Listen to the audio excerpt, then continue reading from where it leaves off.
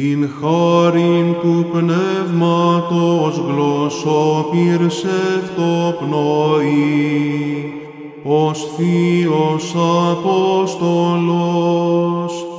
υποδεχθείς τη ψυχή, Ιάκωβε εν δόξε, έλαμψας εν το κόσμο, ως αστήρ έως φορός, έλυσας των ειδόλων την πολύθεον νύκτα, και νυν απαύστος δισόπι